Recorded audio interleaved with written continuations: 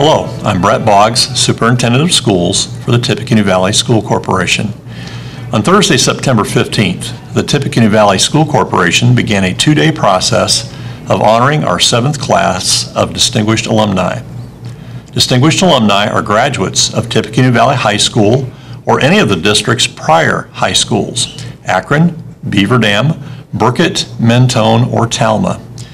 The distinguished alumni may be living or deceased and have led successful lives while making substantial contributions to their chosen field of work or have provided outstanding service to their community, state, or country. The class of 2016 consists of five graduates of Tippecanoe Valley High School and single graduates from Akron High School, Beaver Dam High School, Mentone High School, and Talma High School. The nine inductees into the class of 2016 were honored with a formal dinner at Tippecanoe Valley Middle School. Following the dinner, the inductees were introduced and interviewed by local radio personality Rita Price. Each inductee also introduced and spoke about an educator that had a significant impact on his or her life. Induction Day activities followed on Friday, September 16th at Tippecanoe Valley High School. The day opened with a welcome breakfast where the inductees were introduced to the student liaisons that would accompany them throughout the day. Each inductee then made six presentations to groups of freshmen through seniors in which they shared their high school, career, and life experiences. This proved to be a beneficial time for the students of Tippecanoe Valley High School as they learned about the outstanding accomplishments of these distinguished individuals. The students realized that earning a diploma from Tippecanoe Valley through hard work and by taking advantage of the many opportunities available to them was an important initial step in the successful life of each inductee. The inductees toured the school, followed by lunch, where they were then available to speak with individual students or small groups. Following lunch, the inductees participated in the individual interviews you're about to enjoy. Induction Day concluded when the inductees into the Tippecanoe Valley Distinguished Alumni Class of 2016 were introduced at halftime of the home football game. A brief biography was read aloud as each was presented with a beautiful commemorative plaque. Nominations are being accepted for the Distinguished Alumni Class of 2017. Anyone who would like to submit a nomination may obtain a nomination form from any Tippecanoe Valley school, the administration office, or the Tippecanoe Valley website. Finally, I would like to thank the Rochester Telephone Company for recording the interviews with our distinguished alumni. The Tippecanoe Valley School Corporation appreciates our strong partnership with RTC and the support provided for our schools and the community. Now it's time to meet the members of the Tippecanoe Valley Distinguished Alumni, Class of 2016.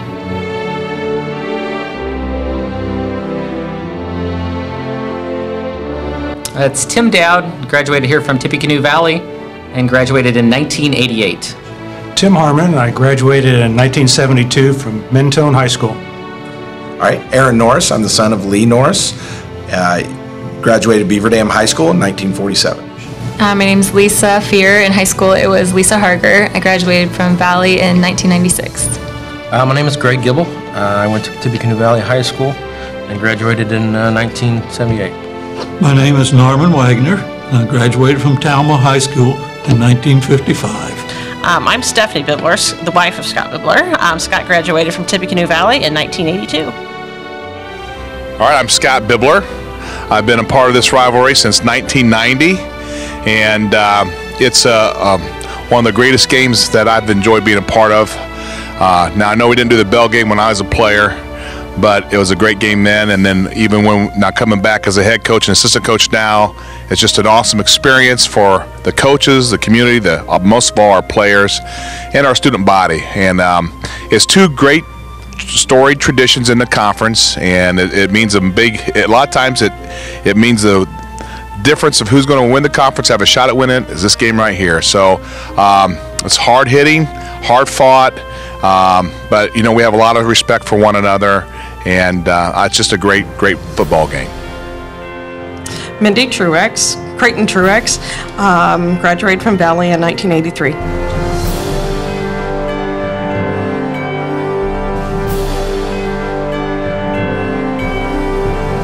Oh my, I have a few different ones. Uh, some that I should share, some that I should not share. Uh, the most, the most memorable one that I can probably share is. Uh, my junior year. We were doing uh, dairy judging in Elkhart County, and uh, we were waiting for the results to come in. And Lisa Paxton, who was the FFA uh, teacher, had given me our ticket or her uh, keys to put our things back in her vehicle for the day and wait for the results. And some of the guys that were with me had asked, "Hey, why don't we go get some ice cream?" So we took off in Lisa's vehicle and went uptown, got some ice cream for everybody. And about 40 minutes later, we came back, and Lisa's like, uh, "Where you been?" I said, "Oh, we took your car uptown." And yeah, she was not very happy. So if anybody's been uh, in any of Lisa's events and, and knows that she does not give out her car keys anymore, it's unfortunately because of myself. I think one of the most memorable was when uh, Mr. Rick Ralston, I think we called him Chief, stood us up in front of the auto mechanics classroom the first day called us a bunch of goof-offs and uh, suggested that we didn't know too much about auto mechanics, but by the time he was done with us, we'd be skilled professionals. Okay. Uh, you know, he's related a few uh, moments over the years. Uh, you know, and I, and I think it, you know, he graduated probably with a class of eight or ten kids. You know, five boys, and all five boys played basketball. And I know he really enjoyed basketball. Um, I can also uh, relate to stories where, you know, if there was a dispute in the uh, the class or you know amongst the boys, uh, the principal would get them on the stage with boxing gloves, and they would hash it out. So it was a different time. High school.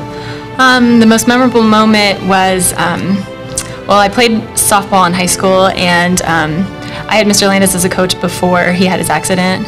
And after he had his accident, we found out that he wasn't going to um, possibly coach us again. And I remember going to his house with some other ball players and saying, "Well, we want you to coach." Um, and we talked to him for a while, but when we left, we still didn't know if he was going to be the coach or not, and we still had not heard. Um, but at the very first um, practice that we had in the gym, um, he came through the doors, and I think that um, that meant a lot to me, and I was that's probably my favorite moment. Um, that, that was a tough one because uh, there was a lot of things, but uh, a lot of things you can't tell and or shouldn't tell or whatever. But um, one thing that came to mind was the my senior year, our senior year pep, pep rally, getting ready to go to uh, state final uh, down in uh, Indianapolis. Um, we had a uh, one of the guys in the team had a a green, bright green Volkswagen that we pushed in the back door, which you couldn't do that now, but then you could push it in the back door into the commons area. I dressed up in a full uh, football gear uniform. I wasn't playing that year. And during the prep rally, we rolled this thing out on the gym floor. Some guys pushed it out, and I hopped up on the on the roof and yelled and screamed and got crazy, and so did everybody else. And it was a pretty exciting time. Well, I have several, but I- don't want to share all of them, I tell you that. But uh, I guess the most memorable one would probably be uh, the fact that I was accepted in high school. I was the youngest one in my class, and the older classmates accepted me. And I won't tell you why I was the youngest one, but I'd moved from a small school in Macy. My mother said, Norman, old enough to go to school, and I don't want to put up with you anymore, so you go to school. Well, I joked earlier that it had to be me, me, I was sure, since I'm in control of this question now, but, um, but I doubt that I trumped the state championship game in 1979, so I'm guessing that would be it. Oh, I've been thinking so much about that with, with this whole project and, and honor.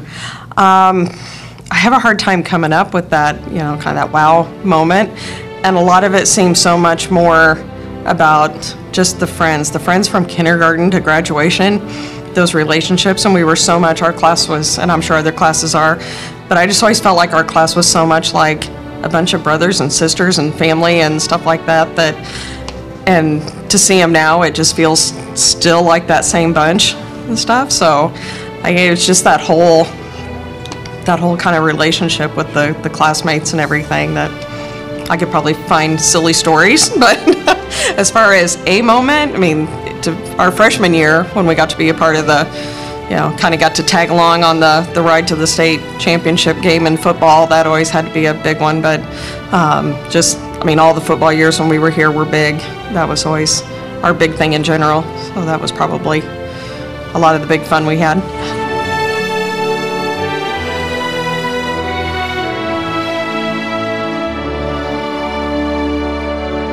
You know, I really enjoyed uh, some of the agricultural classes and things. I did like math and accounting, um, but uh, I really never thought I would do anything other than take over the family farm when I was here at Tippecanoe Valley. Uh, my stepfather was a dairy farmer and really thought that that's probably what my destiny would be.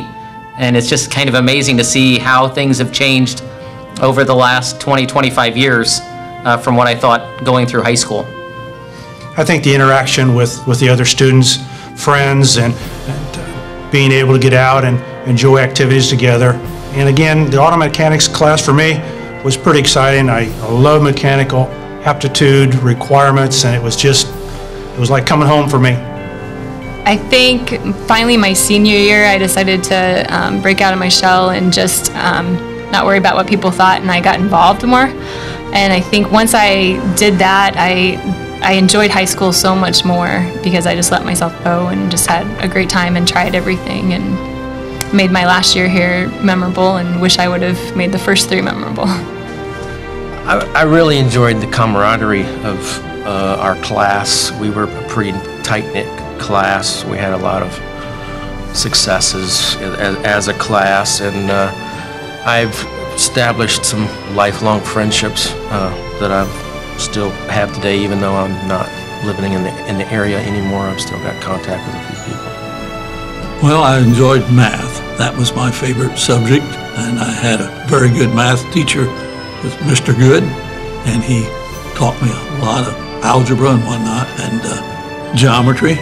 And then when we got, I got to be a senior, I realized that I would have to, if I was going to go to college, and I wanted to go to college, I'd had to have three years of math in order to get into an engineering school, and that's what I wanted, so that's, I think probably just the hanging out with his buddies and, and on the football field. I mean, he wasn't a real student at that point. I mean, he he got through. He was an average student, but he did just what he had to do to get through. So, but sports were his life, and and that football team and that you know those relationships. And he's just a relational guy, and I think it probably all started back in high school. So as a high school student.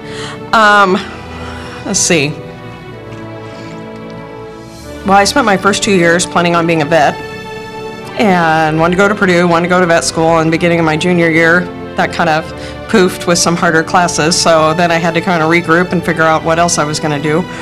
But um, I guess beyond the classmates and the relationship and the friends and stuff, um, feeling like the teachers that you got to know and got to be more than just a teacher with them and just those experiences and as you grow and in hindsight how much a lot of that is gets to be water under the bridge so fast that uh, I don't know. It's like it was just it was all either fun or the humiliating part of going through through some days and just it was I don't know. There's not a lot that just jumps right out, but it was just lot of good memories and a lot of good friends and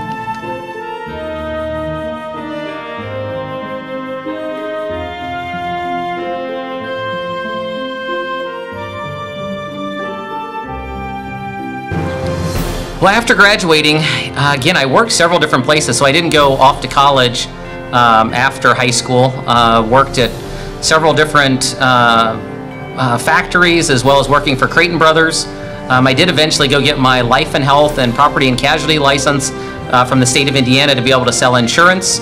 Um, also, then got my securities licenses, um, my Series 6 and 63, which allow me to sell mutual funds and variable products. That's a great question because my grandfather called it the University of Hard Knocks and Stupid Mistakes. And it's a lifelong accreditation program. You never fully graduate. And so I've been enrolled in that college at university since 1972. Okay. Uh, did not go to, did not have any higher education after high school, but uh, it was a lot of hands-on uh, learning on the farm. They had to make things work, and they uh, Um, You know, they didn't go downtown and buy the equipment, they made the equipment. So is learning how things, make things work. Uh, He was uh, drafted in the Army and, and taught artillery guidance school. Um, So uh, that was uh, another part of uh, his education. Um, after right after high school, I think it was a week later, I um, got shipped off to basic training. So I um, went to the army and became a, a medic. Um, I did that for a while. Um, my goal was to do that until I had had my 20 years in and be eventually be a, a surgical nurse, but that didn't happen. Um, I had kids, and I decided that um, I didn't want to get sent overseas and leave my family behind. So after my six um, years were up, I went ahead and, and stopped doing that. Moved to Michigan. I was a medic there, and I did some schooling there.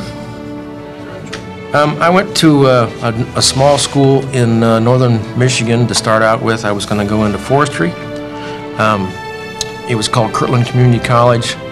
Um, I went there for a, a couple of years, and the people I was going to school with, um, they weren't getting. I went into uh, they weren't getting jobs as as a forester or, or natural resources or anything like that. There was too many of us. The market was flooded. I took a, uh, a computer science, a computer programming class and liked it really well and decided that that'd be kind of cool. I wanted to do that, and so I transferred back to uh, back to Ball State and uh, changed my major to computer science. I went to Tri-State College, which is now Trine, and uh, that, at that time, it was a, what they called a 27-month school. So you could get a degree, a bachelor's degree in 27 months.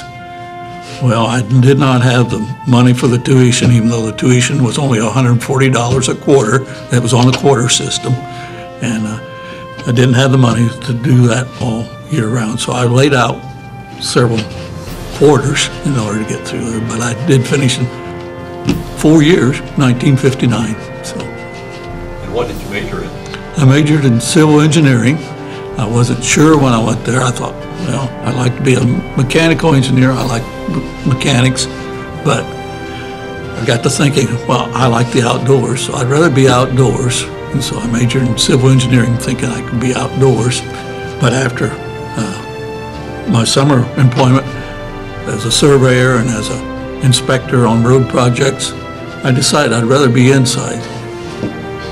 He went on to uh, Taylor University, majored in education, obviously, um, played four years of football and two years of baseball while there. And then he got his master's from IPFW, so Indiana University is where his master's is from. Went a couple different places before I took a semester off and maybe still regrouping and trying to decide what I was going to exactly do. Um, The family farm was always there, and that was maybe always, I guess maybe not always an assumption that that would be what I would go back to. So I, when I spent a, eight months, worked at the, in the office at the farm and decided that, okay, I need to go back to school, I need to get my life together. So then I spent some time at IUSB and IPFW and then got down to Purdue to finish my last two years and be able to say I graduated from Purdue. And uh, went to the Ag Econ Department in Agribusiness Management down there.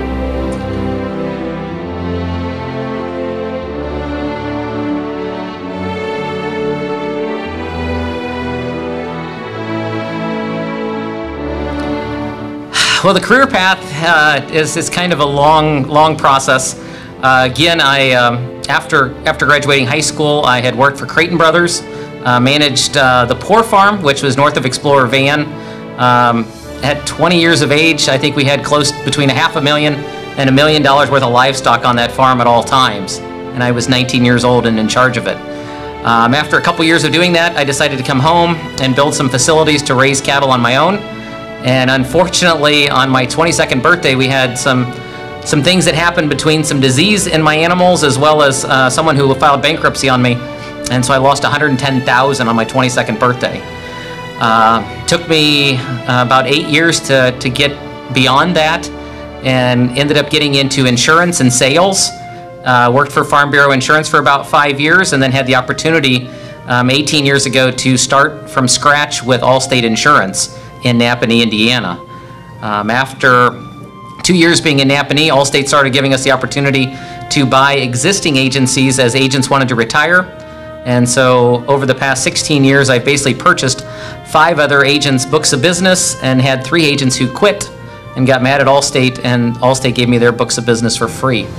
So again, I've been very blessed to be at the right place at the right time, and um, and currently we have offices in Goshen, South Bend, and Plymouth.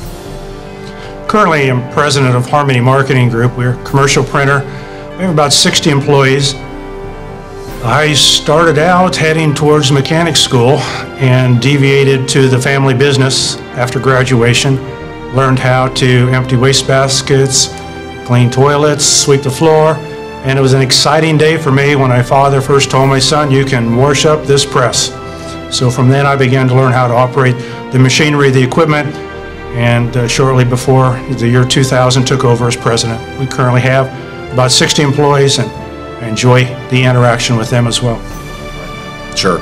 Um, you know, after, well, through, through school, they were farmers, and uh, uh, after school was, was farmer, and uh, then obviously drafted into the, uh, the Army uh, during the Korean conflict. Uh, from there, you know, Lee had always had, um, you know, he always worked hard to keep an open mind about make things better. How, how do I, how can I improve um, upon things? And uh, uh, so through his, uh, through his work, he would develop different agricultural products and which led him to um, being a distributor for Balin for many years in this area, built a lot of Balin uh, drying system, grain bins, and, and the such, and and developed uh, through that, just naturally developed uh, drying systems and and developed patents for drying systems. So it, was kind of just a natural progression from the farm uh, to an industrial product, and then grew from grew from there. Uh, my career path wasn't the career path I chose. I think God kind of opened doors and closed doors for me, so I went where He put me. Um, now I work at a daycare. Uh, I did a lot of waitressing in between. It was important for me to take care of my own kids, so um, I postponed like having a big career because I wanted to make sure I was there for them and that I was raising them and I was always at their events and that was really important to me. I married a farmer, so we farmed and I stayed home with the littlest ones until they got a little bit bigger and I work at a daycare where I get to be around little kids all the time and I'm like the champion at Duck Duck Goose right now, so Um, I came out uh, of school, um, Naval Avionics Center in, uh, in Indianapolis was, was hiring. Uh, my grandfather was in the Navy in World War II, so I was pretty excited about getting uh, an opportunity to uh, go to work there uh, as a computer programmer, developer. Um, I did that for a, a little while. Um, we were, uh, the Navy shut down that facility in the mid-'90s. Uh, We got privatized and became uh, Raytheon. And uh, I changed uh, positions while in there and went from uh, one project to another, which I went to the V-22 mission planning software team. Um, Did a little bit of coding for a couple years there, and then um, once we got ready to deliver our first real copy to the fleet, um, I kind of stepped forward and said, somebody needs to go out there and show these guys how to use this. This isn't straightforward stuff. So they said, oh, good, yeah, you're right, uh, you go. So I went. Um, I established all kinds of contacts through the course of other trips uh, the same way, and pretty soon I became kind of a central uh, point of contact, and it, the, the job evolved into what I'm doing now, which is a field support uh, mission planning for all the Marine Corps V-22 mission planning for all squadrons. Well, I started out, like I said, I wanted to be inside, so I decided, well, I like my structural design courses in, at Tri-State, so I decided that I would try bridge design. So I went to the Indiana State Highway Department, and for three years, I designed bridges for them, and then after that, I got into structural design with various consulting firms and designed sewage treatment plants and some of the, helped on the Indianapolis Motor Speedway, the grandstands and that kind of a thing, so it was a good career, and I also was some of the bridges, there are bridges all over the state of Indiana. My wife used to say to me, says, well, we're gonna go travel and says, I bet you designed this bridge. I said, no, not all of them, but uh, anyway, it's from the farthest one south, I think is down on I-64, and the farthest one north is here in Fulton County, so. Um, he got his first job in 1986 ap- after graduation and taught at Hagerstown Junior Senior High School for two years and coached multiple sports at that point too. Um, we had the opportunity, he had the opportunity to move back to Plymouth in 1988, so he was in Plymouth High School for two years, again, coaching and teaching. And then in the summer of 90, I believe, is when the Valley Head job opened up, football job opened up, and he was only 25 years old, a kid and a mere kid that we think of now, but um, he went for it. It was his dream job to be come back his alma mater and be the head coach. So, and as they say, the rest is pretty much history, except for the last few months there. And he resigned from Valley in t- June of 2015 and went into the private sector um, to be a for Crosswinds. Um, that would be an in-home faith-based counseling service. Um, after Purdue, when I graduated from there, Dad said, before you can come back to the family business, you have to go somewhere, do something. So I found another poultry farm to go to work for. It was out in Washington State. So I thought maybe I'd move far enough away that I wouldn't come home every weekend like I did at school. So went out there and worked for, it was a poultry and dairy farm. So I went out there and had a, I guess, another experience with the family business. And the one thing I've learned at any of the jobs I had, whether it was when I was still in school or after, was it's the same problems, same opportunities, same challenges everywhere you go. It's just different people, different challenges and opportunities, but they're there everywhere. So after a year, in hindsight, I probably should have stayed there longer, but the, the agreement was a year, so I went for a year and then moved back. And um, when I moved back then, it wasn't just jump right into my dream job or anything at the farm. I got to uh, work at the hatchery, you know, counting out chicks in the morning, very early morning, and learning to vaccinate them, learning to take care of them and what happens with them from the time they hatch and, well, from the time the fertile eggs come in from the farm, what happens with them and how we get day-old baby chicks for the farm. Um, then went to our processing plant, graded eggs, worked down there for um, a few weeks. Then my whole through some of the departments was kind of a fast track, but then ended up out at one of the farms. Um, we had a newer farm at the time that I got to go down and work at and learn to walk the birds, walk the house, learn what to look for, learn how to take care of the birds, what what's what to look for that's good, what's bad, make sure they had feed, make sure their water was good, that the lights were good, the air was good and clean and fresh, did the fans need to run to ventilate the house, all that kind of stuff that you had to go out in the house and take care of them so they could take care of us. And then stacking eggs, getting them in the cooler and everything, um, six and seven days a week. Um, so after that, then I finally begged and pleaded and got to come back to the office and told Dad I had the experience. Now I could come back to the office and conquer the world. Um, got into some sales, kind of turned more into some marketing support and things, and then um, kind of evolved into being um, Ron Truex, who I'm married to now. Started out as his assistant and things in the office. Uh, he was in sales, so I got to do kind of some marketing support, um, kind of keep things going back at the office when he was out on the road. Got to go out on the road with him a few times, and then uh, as he became operations manager, I kind of evolved with him a little bit as dad retired and he became general manager. There's just been more administrative things that I've gotten involved with and actually the behind the scenes, what it takes to keep the business going. Um, working with all the owners, we're up to about 200 family members and things now all over the US.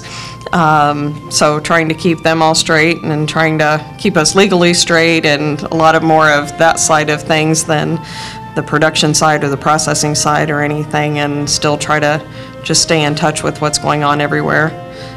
And then evolving into the, the business that we started now, just almost a year ago now, um, our cafe, banquet room tour facility.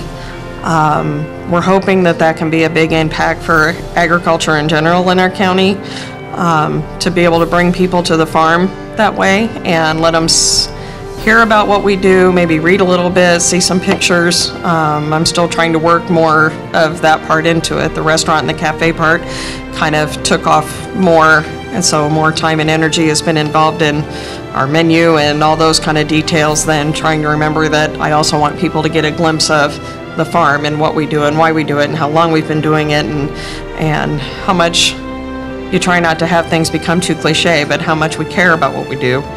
Um, It's been 90 years. Sometimes I feel like, okay, dad, grandpa, everybody gave you a, a good viable business, just don't screw it up. I feel like that's my biggest job is just to try to keep it going for the next, the next bunch and hopefully make 100 years and another few down the road.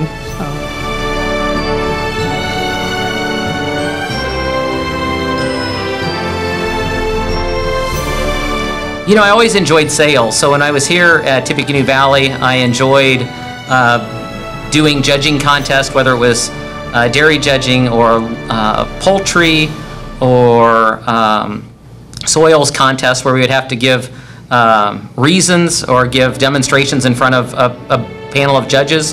And actually, in my senior year, I actually uh, was part of a uh, sales demonstration selling Purina calf feed to a, a board of judges, and so I won the state of Indiana, and actually got second in the nation uh, my senior year, and uh, had lots of different people tell me that, you know, boy, you ought to continue to think about maybe going into sales at some time.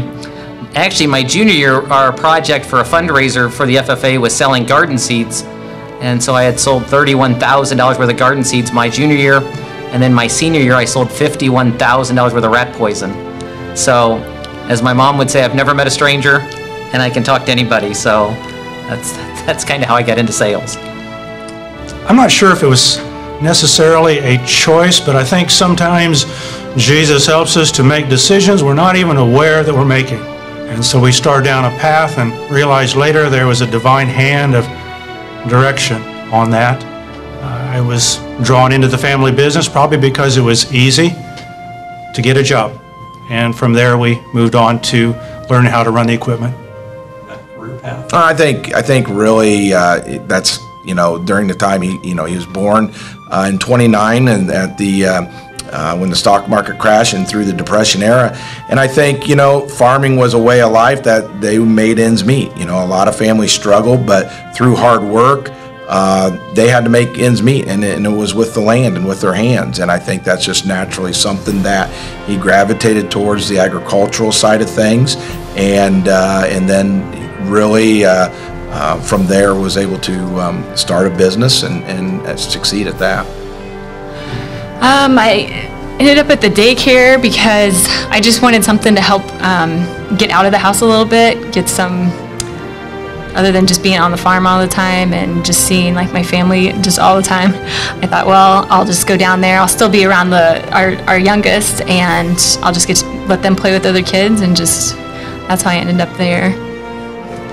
Well, as I was saying, it, it, I kind of moved into it um, I- as a software engineer.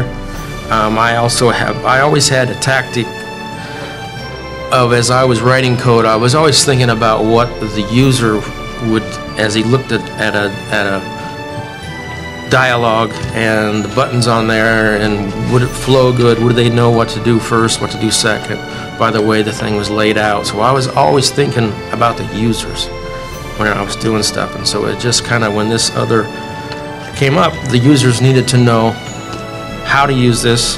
Um, the system needed to be networked together. They just needed help. And so I kind of just flowed into this other niche that I pretty much created myself and, and uh, you know, his dad was a teacher and involved in sports most, you know, most of their life. They're obviously involved in sports growing up. I would have to think that the coaching aspect of it probably led more to the teaching aspect of it than than the other way around. So it's what he loved. He just, you know, and he loved people and kids, and so it was just kind of a perfect fit for him. of different things I looked at and different places I worked, um, I guess that was just what I was meant to to do. Um, I spent, I got to know my grandpa some before he died when I was in sixth grade, so I didn't have a lot of those adult years with them and things, but I got to spend enough time with them that my brother remembers going to have ice cream with them. I remember going out to the farm in the afternoon with them. Um, he would go out and take a drive in the afternoon and go check on things out at the farm. And somehow those were the visits I got with them. That was the time I spent with them. So maybe somehow from a long, long time ago, it just got more instilled in me that, you know, that just my destiny. It's what I'm supposed to come home and do. It's what I love in the end. It's become my family. It's become my life. It's become, you know, I didn't have kids of my own. I've been blessed with some great stepkids and different things, but so I keep trying to figure out why. And I, you know, some days the girls at work, I feel like they kind of tell me they've become my kids. And just the whole farm and what I, you know, how much of a job it's become trying to deal with the public image, deal with things at it, and I look at now where I'm one of the last family members to work there right now. Um, it's kind of sad almost. I wish I could have more of them come back and want to work there, and it's not that they don't want to, but they've moved and spread out all over the place, so, um, and it's something that I, I don't know, my dad always said that as he retired, he'd start getting more telling the stories and reminiscing and doing more of that. Now I feel like I'm starting to catch myself doing that. Um, but I guess it just keeps it keeps meaning more and more all the time, and feeling that that legacy that Grandpa left. When I start looking at my niece and she says, "Oh, that Hobart guy," I was like, "Oh my gosh, that's right." I'm getting into the generations now that didn't know their grandpa, their great uncle, and things that started everything. How it started I mean, obviously wasn't around when my dad and his sisters were watching the, excuse me, the business start, but um, I'm one of the last ones that, that knew my grandpa. You know, a few of my older next generation cousins might have, but they weren't here all the time, so they saw him on visits. So that's where I feel like it's it's something that how much it chose me, how much I chose it. Sometimes I feel like it chose me and I didn't have a choice. but it's been a, it's it's a good thing.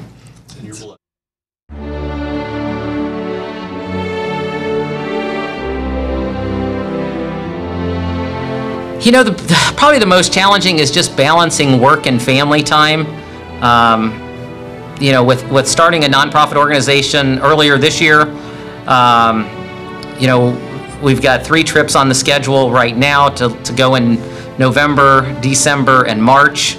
Um, you know, it's it's just it's just difficult sometimes. You know, my little girls are, are nine and ten years old, so again, I really have to prioritize spending time with them while they're young and and, and at home because it won't be long and they're going to be raised and be on their own. So uh, it's just trying to to take every effort to to when I'm home to be home instead of being distracted with my phone or my emails and things like that. I think the most challenging is also the most exciting, and it's working with our employees. The most challenging is the struggle of interaction from one person to another, but the most enjoyable is seeing those same people develop skills and aptitude and talents that they didn't for, before that time realize they possessed. Well, I think, um, you know, I grew up in that business, uh, and uh, from time I could, you know, do work, and uh, you know, I think he would always tell me, you know, it, it's communicating was very important to uh, to the job is communicating with employees, communicating with customers, and I think that was the most challenging. You know, something that to be successful, you had to communicate well with everyone, and uh, something that he really, um, uh, you know, wanted me to to um, uh, to study and, and do well with. I don't really find it challenging. I think it's fun and um, there's days where I wish I had like half the energy some of these kids have, but I, I don't think it's a challenging job. I, I think it's, um, I'm just humbled that people will let me watch their kids and that I get to be a part of their lives when they're little like that and why they're there. We teach them about God as much as we can and how to love people and I'm just glad to serve other people. One of the most challenging things for me is uh, I work for a defense contractor. Uh, they provide goods and services to the Department of Defense. Um, they are a business and they want to make money, um, which is what all good businesses do. Um, so I have a hard time juggling what my company expects of me and what uh, the Marine Corps uh, expects from me and what I expect that I should give to the Marine Corps. So sometimes those things don't marry up, and uh, I have to work extra hard to try not to uh, upset my management. Well, I'd say the most challenging, and I feel like now it was a good project, but I- at the time when I was told it was over, I felt like I'd been, uh, I don't recall, not exactly sabotage, but anyway, I'd wasted five years of my career. So it was a environmental impact statement for coal-fired power plant down on the Ohio River.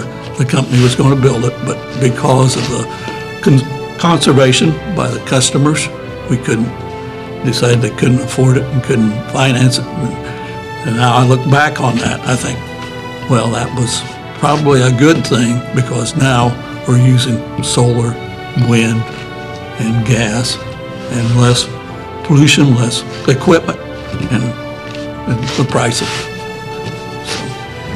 I would say in those, the years when after you got to the counseling office and stuff, um, it'd have to be all the turmoil that Valley's been through in the last handful of years, all the suicides and the, and dealing with the kids and even the kids just not necessarily suicide, but just their, you know, maybe a bad home life. And to see all that, every, you know, just day after day after day, I, I think it wore on him after a lot of years in that position.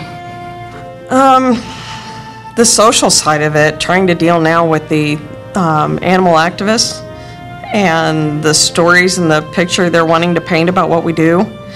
And they couldn't be more wrong. I just was reading an article oh, today or yesterday, I think last night, about what uh, the Humane Society and their impression on what we do. And they make us sound so horrible.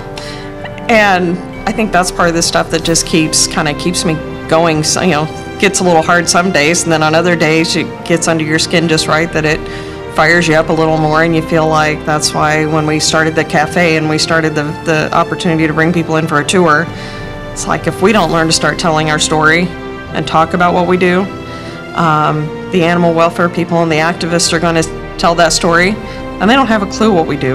They just want to paint us, paint a really bad picture. So it's a challenge, it's an opportunity, in every challenge, there's an opportunity. So I try to look at it that way and try to, you know, learning to manage people now is my, my big new um, obstacle and challenge and opportunity. Um, learning to manage kids just out of school. and, uh, you know, it's a part-time job to them or it's different things to them and it's my life. And so trying to instill in them what we have going and that it's, it's maybe just a job for them right now. It could be a lifetime career for them. That's, you know, I guess trying to spread, spread my love for it, my energy for it, my passion for it with those, with the, the kids I get to work with now. Um, makes me feel really old some days, but, um, but it's, I guess in every frustration, it ends up being just something I love. So I guess where I look at where there's a challenge, there's an opportunity.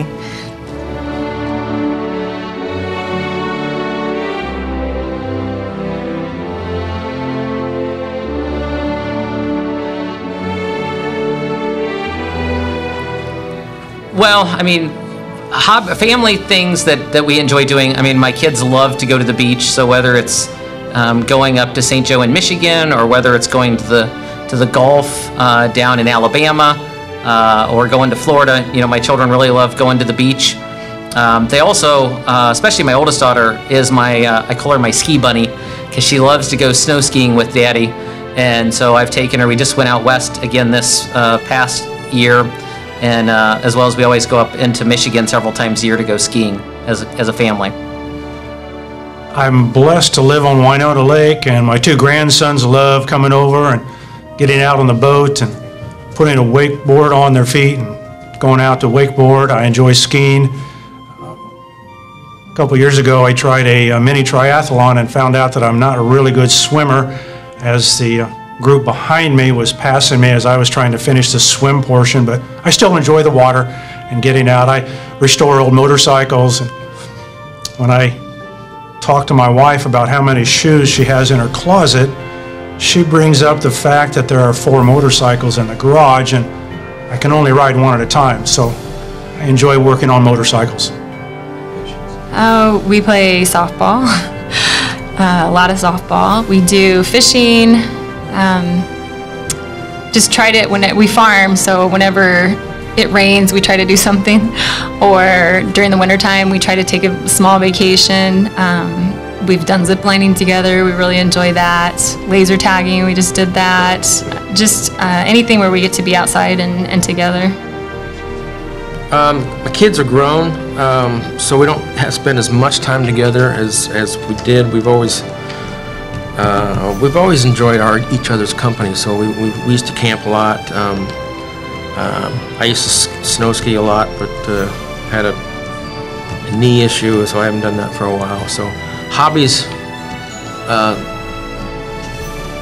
I don't really have too many hobbies. The one hobby that I could think of that I have is I really, I really enjoy cutting firewood. Uh, I get out in the woods and, um, and especially it's coming up this time of year and get out there and I, I don't need to hit, heat my house with with wood, but I always have and I I just enjoy it. So I get out there. and- Forestry background. Yeah, that's that forest background. I have a thing about trees. Oh, that's all right. It's a, forest is actually. Well, I always enjoyed family get-togethers. We always tried to have my brothers' birthdays, special holidays and whatnot.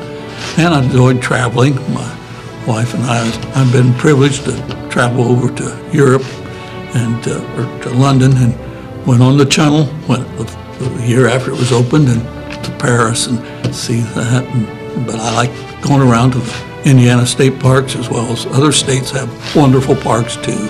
And so I'd say the travel and the families get camaraderie. Um, Scott himself loved to golf. Was be his probably his big outlet. Would um, golfed with his buddies. None of us girls golf, but he'd golf with his buddies a lot, and um, and he loved to mow. I think it was a mindless something he could do. Jump on the mower and go and put his earphones on, and he loved to mow. Um, as a family, we enjoyed. Um, lake. We enjoyed the lake. We had a little house on the lake for a while. We enjoyed lake. We liked to take the pontoon out, or the when the girls were young, we had a speedboat and tubing and the skiing and all that stuff. We just it was a great family activity when the kids were at great ages, and and then we loved to travel. We were blessed enough to be able to take some decent vacations with the girls when they were the ages that we're at, which in hindsight is I mean priceless to us now, of course. prior to the last couple years, I feel like when I had a private life or a personal life, um, my horses, my dogs, they're my they're my kids, they're my outside passion, outside chickens. um, I've had golden retrievers that I've um, had the puppies and went through the litters and different things like that. I love my dogs and um, the horses. I finally got the opportunity. I always wanted to show when I was back in my 4-H days or different things. I'd go down and watch the horse shows at the county fair, and I would just look at the girls in their dressed up outfits and riding their pretty horses, and just thought, oh, I wanted to do that. And my niece, I got her riding, and then she started showing some pleasure showing, and so I kind of took the back seat helping her. Never still really dreamed of doing it myself, but then I got lucky and had the right horse kind of fall in my lap and then got hooked up with a trainer. And so then I started, um, learned how to do reining, which some people talk about, you know, how hard it is to explain. Was it I read something the other day about Start with, uh, read something the other day? Um, but I got to pick up on reining and the Reining Horse Association, it's a, I mean, another great bunch of people. There's so many great bunches of people you can get involved with out there, but reining is kind of like figure skating on a horse. Um, spins, circles, fast circles, slow, small circles, um, sliding stops, 30 foot sliding stops, nothing more exciting than that and make you forget about what happened during the day. Um, the spinning, I finally figured out how ice skaters spin without, you know, falling over. Um, it's exciting. My horse trainer said for never having shown before, I got to pick the, the hardest um, discipline there is. Um, some days I could really understand that, and then I'm a, very much a perfectionist, so I was very hard on myself doing that, but I loved it. And until I needed a full knee replacement, I loved doing that and going and showing and got to go from Oklahoma City was the furthest I went, um, Tulsa and Oklahoma City, showing in the Palomino World Show. We, uh, very hot that day. My poor horse showed in four classes, short of back to back to back. We even think he might have had a small little bit of heat exhaustion and stuff, but uh, he won three out of his four classes, so he was a three-time world champion that day, and uh, got to show out in Oklahoma City a few times and had some success out there. And the quarter horse Congress over in Columbus, Ohio. Never dreamed I would do that kind of stuff and even get awards and recognitions for doing it. And so that was huge. Hope to get back to that someday.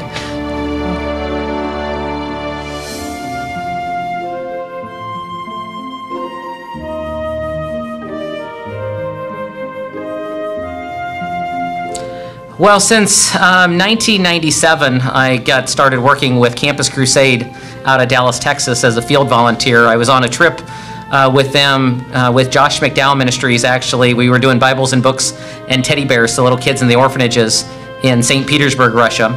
And when I came home from that trip, they'd asked me, they said, you know, we'd really like you to think about going full time with the ministry, uh, moving to Texas.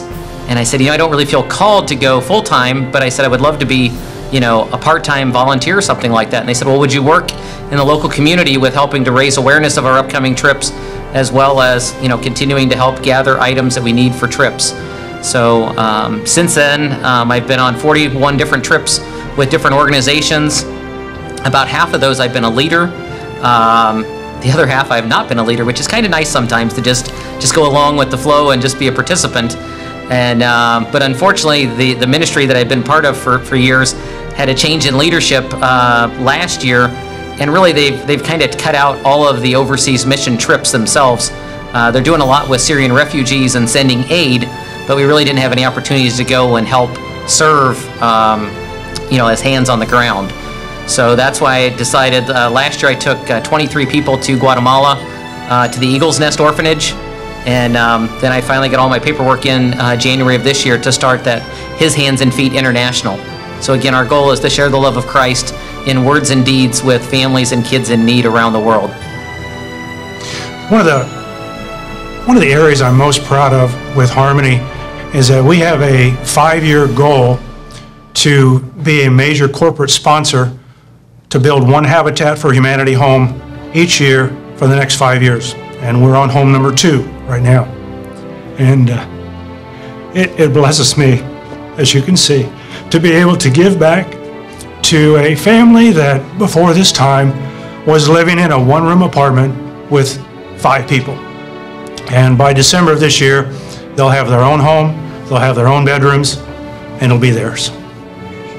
Sure. He, uh, uh, Dad is very uh, active with his local church, First Baptist in Mentone, and, and has been in leadership there for many, many years and doing a lot of mission trips uh, recently, the last couple years to Jamaica and, and so forth. And so that's really been a, a big part of his life and the ministry is uh, at, at First Baptist. Uh, as well as uh, he and uh, and my mom Noreen. Um, at age 65, Dad started riding motorcycle, and that's been a very, very important part of, of his life. Not only just enjoying riding motorcycles, but the ministry aspect of that. They're uh, very uh, involved with uh, Christian Motorcycle Association and a lot of mission uh, mission um, type work from that. And uh, it's really about, I think, his interaction with with people that he meets along the ways, and they've they've ridden in every state in in America and driven to Alaska, and they've got um, people that they've met across this country, and, and I think have had a very um, uh, uh, big impact with with people. Uh, I'm the president of the Akron Youth League. I've been there since 2009. Um, I've helped get grants established and to help rebuild it and make it look nicer down there. Uh, community other stuff is um, I've gone on a missions trip last year and I'm going to go back again this year. Uh, but just wherever wherever people need help, I kind of I try to help. I joined the task force because kids matter to me, and I um, I have daughters that go here, and I wanted to somehow try to make a difference for these kids and see what the problem was, and and just whatever I can do to help. Um, right now, I don't have enough time uh, really to do a lot of volunteer work. Um, my wife is the president of the Hancock County Community Foundation, and uh, she does a lot of volunteer, and a lot of times I get pulled into her volunteer work as far as that goes. Community service, um, I mean, I, my I serve those who serve, so I kind of think my service to the country is my community service.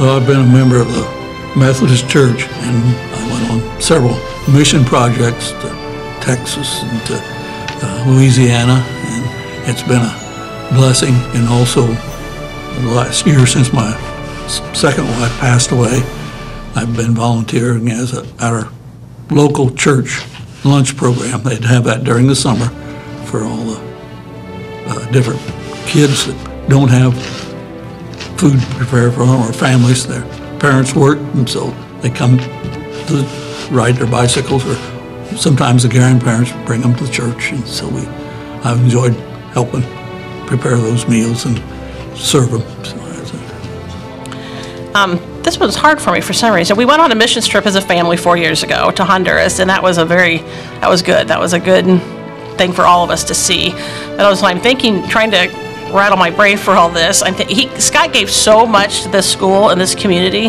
that I almost don't know where the line between his job and the volunteerism begins and ends. I mean, you could probably tell me better than, than what I know. I mean, he was on every school and te- school improvement team. He was on the mental te- mental health task force, suicide prevention. I mean, but I really don't know, to be honest, where the job and the volunteerism line was.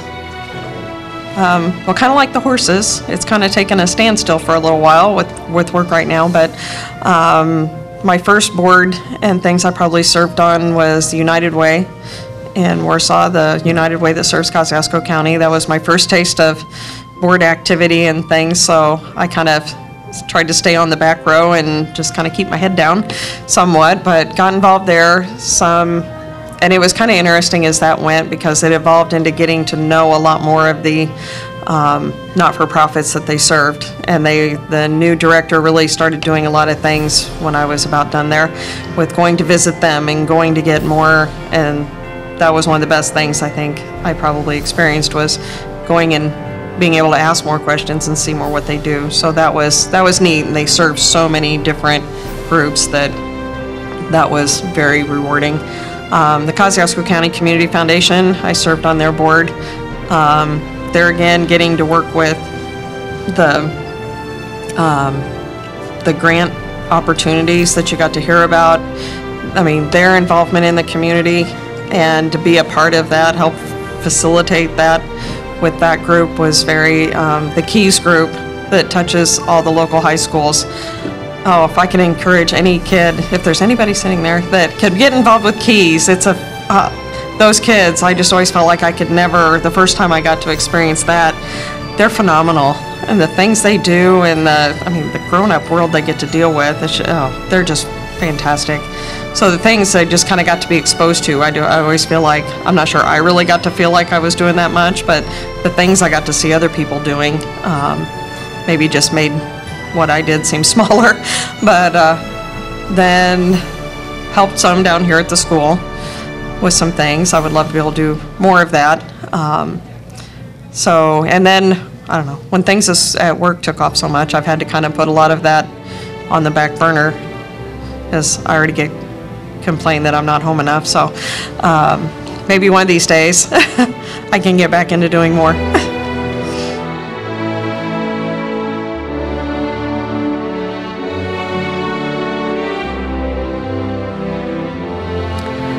Well, you know, it's it's interesting. You know, uh, right now for myself, I mean, the greatest sense of pride that I have is is really nothing with Allstate. I mean, my greatest sense of pride is is helping to get people involved in helping others, whether it's here locally in the community or overseas. Um, you know, over the years, I've had a lot of death that I've dealt with. Um, you know, back in 1997, I was engaged to get married to a young lady who uh, died two months before to be married from breast cancer. And then the following year, my brother died of cancer. Um, and then my father, at age 59, passed away of cancer. And so, again, my motto uh, for the last, I mean, ever since 1997 is life is very short and you need to leave, live each day to the fullest, and there are no do overs. And so I love um, helping others, you know, I, I say many times, get off the couch and get involved because, you know, waiting till you retire to start doing things that you want to do may not ever happen. I don't necessarily consider them accomplishments, it's just opportunities in life. But to be able to see my employees grow and develop, uh, just this past month, I had one employee that was in customer service, and he's now in the sales field. to be able to see these employees grow and mature, and to be able to mentor the potential that lies within them, much as what you do here at Tippy Valley, taking young students and helping them understand the potential that lies within. You know, I think just li- living out his faith. Um, you know, he uh, he has a very strong faith, and I think that for him, you know, showing living that out in in how um, his relationships with people and and showing um, care and compassion to others, I think is really, uh, I think that's what he, he's about. Well, I have like two things. I, with getting the grant and getting the fields um, revamped and everything is probably one of my big ones right now because my grandpa helped build that big the baseball field, and so it mattered to me that it stayed um, nice and that people keep coming down there. And that was something that if my kids stay around, I want my kids to be down there and I want my grandkids to be down there. And we've just had a lot of family time on those fields, and so those fields matter to me. The other thing is my watching my daughters. Um, they're teenagers now, and they've I think by watching me, they've become more confident and they stand up for people. Um, we've had one go on a missions trip. They really are very compassionate and really um, they challenge themselves and, and take risks. So. Um, I'd never, I didn't serve uh, coming out of high school. Um, we hadn't been out of Vietnam only about three years. It wasn't, um, it really just was not on my radar. Didn't even think about doing it. Later, really regretted that and had felt some shame through the year um, because of the what I do now and the time that I've spent, the sacrifices that a lot of these guys and their families do and go through. so one of the things that just I find most proud is on several occasions I've talked to guys and they've kind of about that and and they would come back and say we wish we had more Marines with your dedication. And as far as we're concerned, you are one of us. So, Well, I think I, my goal when I got out of Tri-State was to become a professional engineer. And I did become, got that within the first, first try, so I think that was pretty good. And then, because I was competing with not only Purdue, but uh, Rose-Hulman engineers. And uh, I thought that was good. And then later, I decided I wanted a land surveying license, so I went studied, home studied and classes and whatnot, and I got that. So that's the two things. I, I still have those as professionals, so. Almost got it, guys. Um, I think his daughters are a huge sense of his would be a huge sense of pride for him. I mean, and he thank heavens he was here to see them become the young women that they are today. He saw them, he saw Chelsea complete her education and be in the classroom. We visited her two weeks before the accident. He got to see her in her role as a teacher and on the, the volleyball court as a coach, and that was priceless. Um, Megan wasn't quite done with her degree, but she, but we got to, we went down to a Ball State. She was with the Ball State football team last fall, and we had went down about three weeks before the accident and watched her do her athletic training stuff at a, at a Ball State game. Um, so you know, he got he got to see a lot of that. He got to see them, you know, be where they got to be at. So I think his girls are probably, you know, um, my, me looking at it, which again he didn't get to see, is is the impact he made on this community. And I, he never knew how big that was. I never knew how big that was till October 2015. In school, everything was just, I was very, I feel like, I was just very average. So when I finally got to, when I competed with my horse and the first time I feel like I was singled out as the best one in the bunch, I, I felt like I didn't know how to react. I wasn't used to being the one um, getting the awards, getting the recognition, um, even this award and recognition and, and things with, from the school. Um, I'm sure it's like, I'm kind of looking back already, kind of feeling the somewhat enormity of it in the scope of things I've done. Um, It's, I'm not, I'm used to being the one, I'm used to being support. I'm not used so much to being the one recognized, the one doing something, um, doing good or doing good that's recognized. So between my horses and the accomplishments I had there, um, and some of the things I'm getting involved in now at work, and seeing things not fall, seeing every day get a little better with the cafe and a new adventure for the farm, and hopefully it's not a flash in the pan adventure for the farm. Hopefully it's something that is um, my mark on it that's going to last beyond me.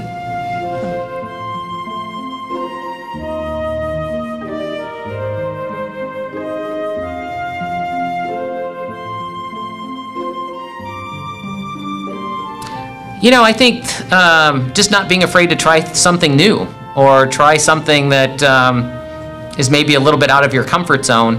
Um, and, and I think also just giving 100% is, is something that, um, you know, Lisa Paxton and, and many of the teachers that I had here. Um, unfortunately, in high school, I was a true underachiever. I think I finished 51 out of 102 in my class. And um, my mom was always so frustrated with me because I could get A's if I wanted to. But, you know, the classes that I enjoyed, I would do well. Classes that I didn't necessarily feel like they meant a lot to me, I, I didn't apply myself. So, um, so again, as I transitioned out of high school and then had opportunities to do things that I enjoyed in insurance and in getting my investment licenses, um, yeah, I've just, uh, like I say, if I can put my mind to it, I can, I can do about anything. Probably to uh, not undervalue yourself. I tried to run with the popular kids in my freshman year of school, and that didn't work out so well. And I found out later by finding real friends that didn't abuse me or mistreat me that I had amazing potential. I just needed to believe in myself. Well, definitely during that time, I mean, it, was hard work. You know, hard work um, was was important, and to, to you know to survive and to thrive at that time. And I, I and I'm sure you know through school years, you know, it was both hard work in school and and out of school. And uh, you got up early, you did the chores, you went to school, you went home and you did the chores, and uh, and that was a daily thing. And I think uh, that is a, a a skill that he had to. I mean, he he had. Uh, I think the love for learning and keeping an open mind, uh, because as he as he went throughout life, the uh, uh, taking on new challenges, learning new things, and enjoying those challenges and those new things, uh, you you could see that. And so uh, I think he just a lifelong learning, just a student of life. I would say probably just relaxing and and just enjoying life and not worrying about what people think. You know, if you want to be the goofball, be the goofball. You know, if that's what makes you happy.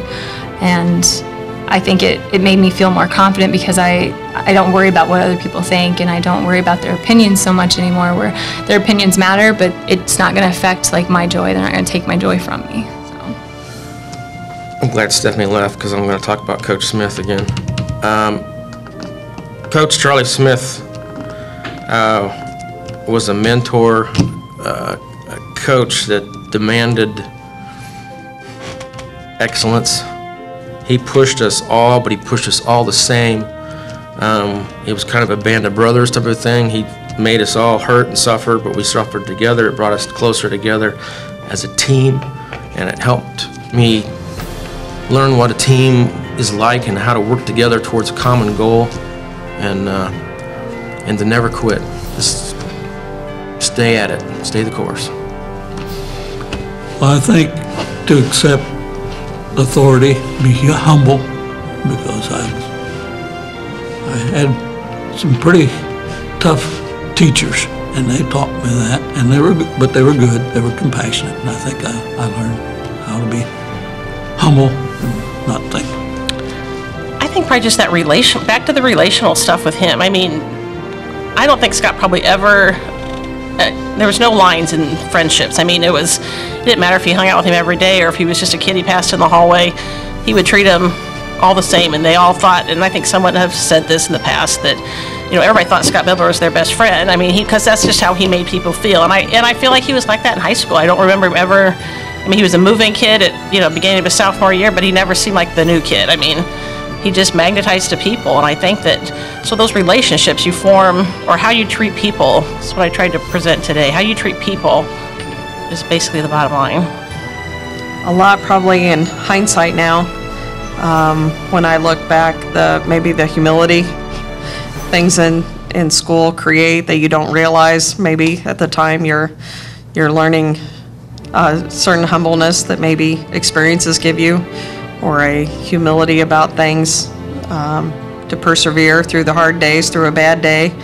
And looking back now, I always feel like I would just love to tell the students, it's like, don't let one bad day, don't let one bad experience. Um, I can write a book. I feel like on tough days and maybe more awkward, bad, humiliating experiences I can remember in school, maybe more than the great ones that stand out. Um, those will all be water under the bridge. Um, so maybe there's just a certain toughness getting through school some days, um, whether that was grade school, high school, college. Um, maybe it's just the perseverance of, you know, no matter how long it takes, no matter how average you feel, no matter how much you have to just keep scraping every day, getting through it, the accomplishment of saying you got through it and you achieved something.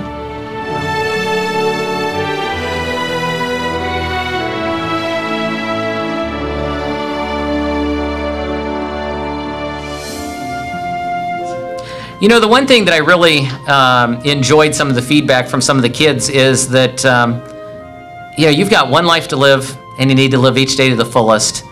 And today, living with honesty and integrity is so important as a young person.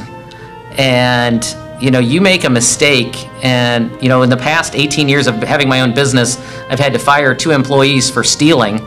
The last young lady uh, was within two weeks of going to get her insurance licenses, which would have given her about a $10,000 pay raise. And what did the young lady steal? Two $10 Visa gift cards. And it just blew me away that you threw, threw away a career that was going to start you out at over $30,000 a year because you were tempted to steal $20 in gift cards that weren't yours. And again, when the when we had to get the police involved to get the video footage of who took these these gift cards, and they brought in the picture and they said, "Is this your employee?" And I said, "Yeah." They said, "Well, where is she?" I said, "Well, she's in the back room. Let me bring her up." And they actually handcuffed her right there in my office and took her to jail. And so, you know, you make a poor decision like that. I mean, you can ruin your reputation for life.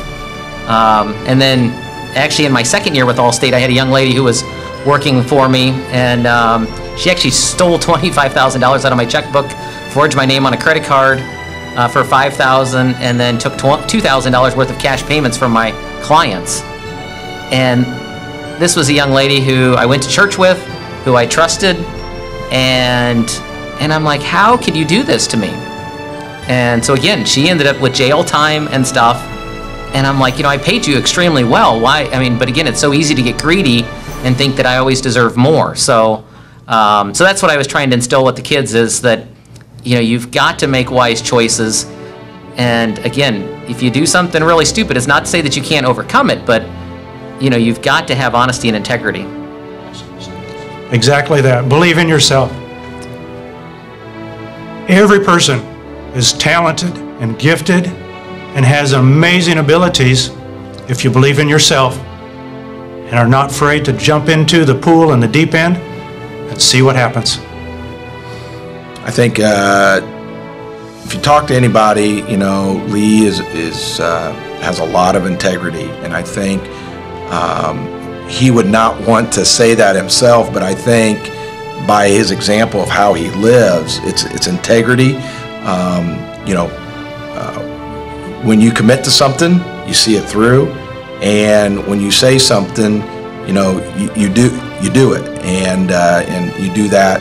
Um, so I think his integrity, his hard work, um, is uh, both very, you know, what he would uh, say to them. All right, thank you. I would say you're young and you're going to make mistakes and you can always fix everything. Tomorrow's a new day and you can just start over. That um, just go out and be yourself and enjoy life. I look at myself and what I presented to the kids today is, is uh, um, this worked for me. It was not the easy way. I'm, this is an example of how not to go about your your career life to, to get uh, to somewhere somewhat successful. Um, I don't. I'm not someone that went after the money. I went after something that I liked doing. You don't like what you're doing, um, it's not going to be enjoyable. Um, you've got to like it in some way. It may not be fun, but if it gives you gratitude, you got to find something that gives you a fire in the belly that you can be proud of and, and get a hold of and, and go after that. Never quit. Stay loyal. Be humble. Uh, work hard. Nothing's free. Nothing's fair in a lot of, lot of situations. So. Well, I tell them one of the things, God is good. He's always provided me when I think I'm down. I think, well, just wait a little bit and he'll guide me, and he has guided me through many, many tough, well, I, some people call it tough situations, but I think it's, it's part of God's plan. I don't know what, what it's gonna be, but I'm trusting, and I'm thankful every morning to have that opportunity to try to serve him on this earth here. I would think you would tell them to go for what you want to go for. I mean, your career set your limits to the highest you want to set them to, and you, people you can achieve anything you want to achieve. But in the process, don't forget don't forget that your two priorities, if they remain your faith and your family, everything else is going to fall into place. So no matter how successful you get, if you still prioritize those two things, you're going to be okay. hang in there. Um, don't sweat the small stuff. It's huge today. And I mean, I had, I know I had things that I kept feeling like I just don't want to go on tomorrow some days. Um, it too will pass. You know, my mom always used to tell me, you know, the whole thing of that if it doesn't kill you, it makes you stronger. Um, things happen for a reason. All those old adages and all those things that I would always hear, and I'd roll my eyes about it. And things, every day just passes, every day gets better, life goes on. 20 years from now, it's really not going to matter. Um, all those things, it's, you know, I see people now and I think back to when we were both in high school 30 years ago or something and how different things and relationships and what mattered and, know, yeah, you have to get through it, but try not to let all the little things be a big thing.